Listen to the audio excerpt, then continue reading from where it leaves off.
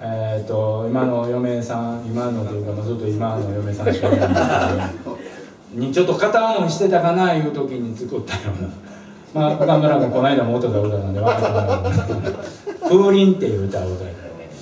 であのちょっとぽっかり月が昇る頃っていうところがバッとこうちょっと僕演奏でぽっかり今月が昇る頃まあそれを歌ってください。で聞いていただくだけで何言ってるか分からない。まあまあそんなような歌でございますのでハーモニカと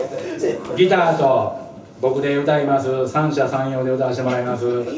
三位一体三方両得で歌わせてもらいますのでよろしくお願いします。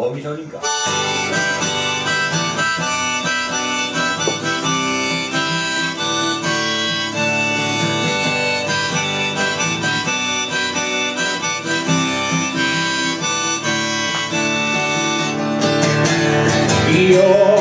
風はいつも僕の心に断りもなく吹いてくる。手拍子お願いします蚊取り線香に火をつけてうちの片手に寝そべれば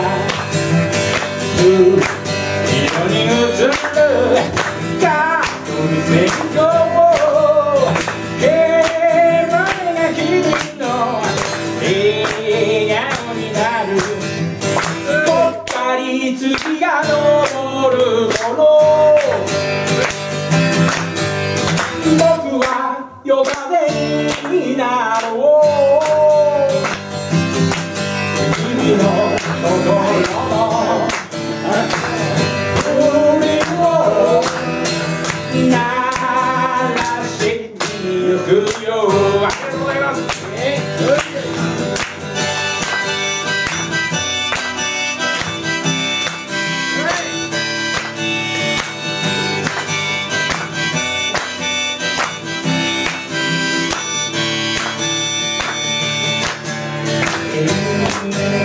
に腰掛け引っ張り出したは締まりかけてた線路花火激しく弾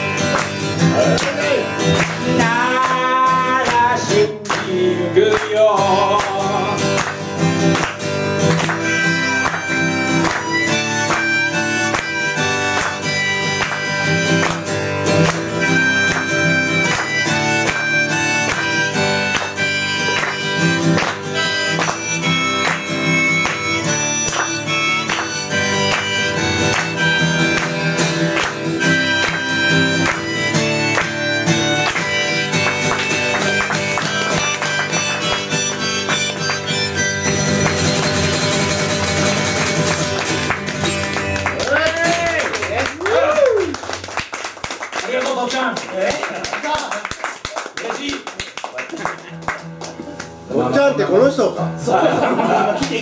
いやだからとっちゃん来てもらうエンジンかからんのですよ